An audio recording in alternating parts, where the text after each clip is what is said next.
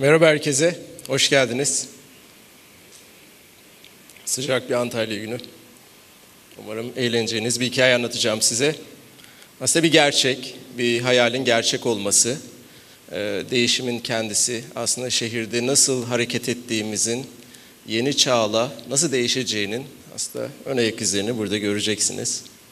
Aircar'ın kurucusuyum ben. İsmim Eray Altunbozar. Elektrikli, otonom bir uçan araba yapan firmayız. Arkada gördüğünüz fotoğraf aslında ulaşımın yeni çağını temsil ediyor. Ama nerede bunlar? Yani uçan arabalar nerede? Bu geleceğin e, göstergeleri olan teknolojiler vardı. Jetgilleri hepiniz bilirsiniz. Birçoğunuz bilirsiniz. Bunlardan bazıları aslında burada işlenmişti.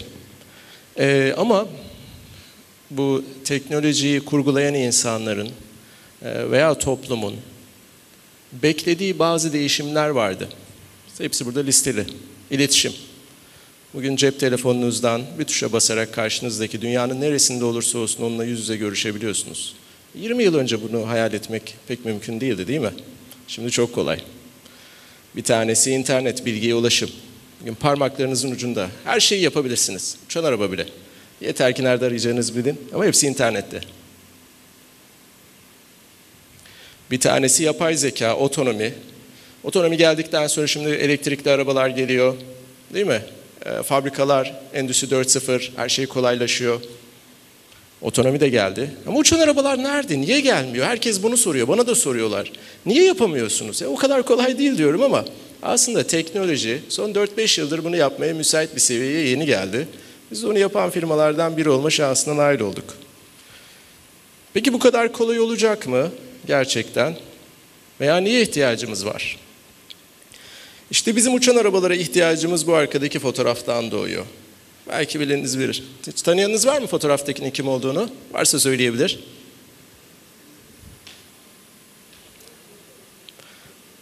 Tamam. Doğru. Henry Ford. Büyük Henry Ford arkasındaki de Model T. Dünyayı değiştiren araba. Bugün bu konuşmayı yapmamın da nedeni o. Henry Ford 1908 yılında bu arabayı çıkarttı. İlk arabası değildi, ikinci arabası. Birinci arabasını beceremedi, para bulamadı, parasız kaldı. Ama bir şekilde tarih önünü açtı ve bu arabayı herkesin satın alabileceği bir fiyatta yaptı. Yıl 1908. 1908'de New York Times'ın ünlü Times Square'nin fotoğrafını görüyorsunuz. Çok güzel değil mi? Trafik yok. Gayet sakin. Peki 20 yıl sonra ne oldu biliyor musunuz? O Model T üretildikten sonra yaklaşık 20 milyon, 18-20 milyon arası satış yaptı. Bugüne kadar hiçbir araba firması bu adeti ulaşamadı. Bildiğiniz bütün modeller dahil. 1928'de üretimi bitmiş bir araba hala rekorlar listesinde en yukarıda.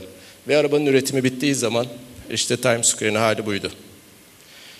Ve o gün bugün de maalesef bu fotoğraf pek değişmedi. Ve hep bana şu soru geliyor. Ya nasıl yapacaksınız? Kanun yok, kural yok, hava yolları yok. Teknoloji her zaman peşine kanunları takıyor. Önce kanunlar gelmiyor. Önce teknoloji. Teknoloji her zaman regülasyonları önüne açıyor. Bakın o zamanlarda regülasyon yoktu. Trafik polisi yoktu, trafik ışığı yoktu, sigorta yoktu, sürüş belgesi yoktu, arabalarla ilgili bir standart yoktu, yol yoktu, hiçbir şey yoktu. Ama herkesin ulaşabileceği bir teknolojik ürün hepimizin hayatını belki de sonsuza kadar değiştirdi. Ve sonunda bu tabloya geldik. Şehirler büyüyor. Bugün 4 milyar insan yaşıyor. 6 milyara çıkacağız 2050'de. Trafik daha da kötü bir hale gelecek. Bunun ekonomik e, zararı ise çok büyük. Ve e, oluşan karbon emisyonunun yüzde 45'i bizim taşımacılığımızı yaparken oluşuyor. Bunun önüne geçmek için bir çare bulmalıydık. Biz de aslında bunu yapmak için elimizden geleni yapıyoruz. Daha hızlı, sürdürülebilir bir ulaşım mümkün mü? Evet, aslında mümkün. Bu benim evim. Ee, genellikle İstanbul'un bir ucundan bir ucuna gidiyorum. Ve yaklaşık en az bir saat sürüyor. Şimdi bu soruyu burada sormak istemiyorum ama İstanbul'da sorduğum zaman buraya gelmek için kim bir saatten fazla zaman harcadı dediğim zaman genelde izleyicilerin yüzde ellisi ellerini kaldırıyorlar. Ee, peki bunu 7 dakikaya, 5 dakikaya, 4 dakikaya düşürebilseydik güzel olmaz mıydı? Ve bunu sürdürülebilir yapsaydık.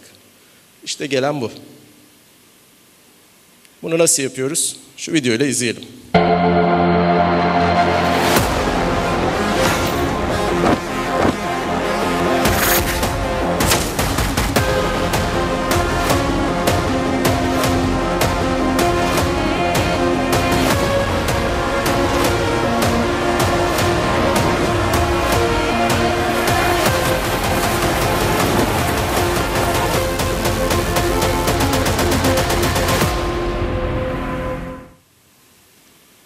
Bonusu var?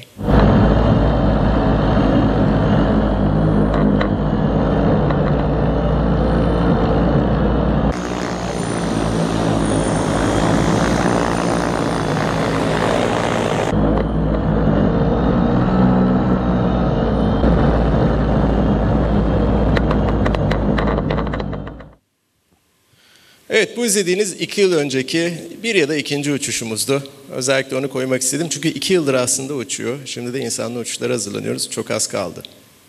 Peki Aircar nedir? Evet otonom. Neden? Az önce bahsettim. Buna mümkün. Elektrikli arabalar otonom gidebiliyorlar. Biz de gidebiliyoruz. Havada biraz daha kolay problem.